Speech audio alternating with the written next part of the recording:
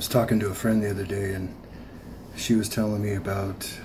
Well, first, she is the type that is on the edge of believing all of these uh, stories about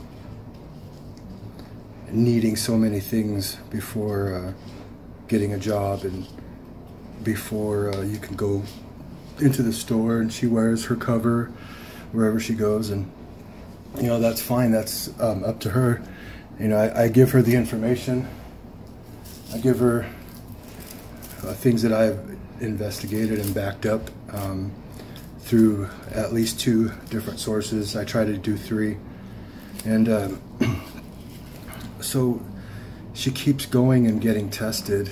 You're allowed three tests a week if you are under, uh, if you receive government assistance, medical, um, which she does.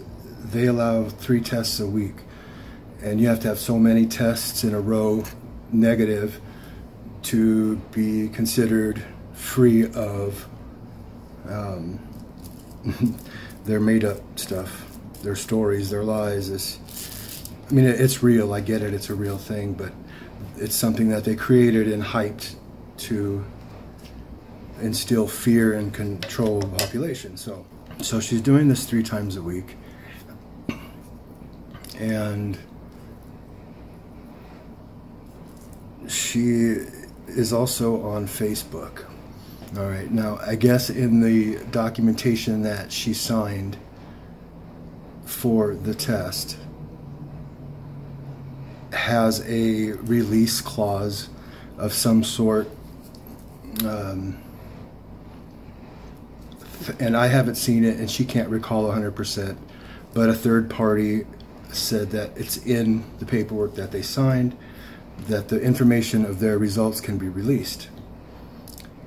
She went on her Facebook page and on her wall was posted by some under a name she didn't know that she had tested positive for CV on Facebook. This was posted to her account, and she was uh, quite upset about it because she hasn't told anybody other than telling her boyfriend and me um, that she tested positive and is trying to find a negative a series of tests to be able to apply for a job.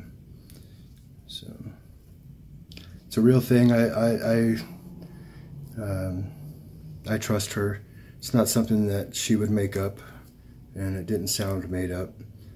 Um, and I don't go on Facebook. I guess I could go check her page, but I'm going to take her at face value. So I just thought I'd let everyone know about that.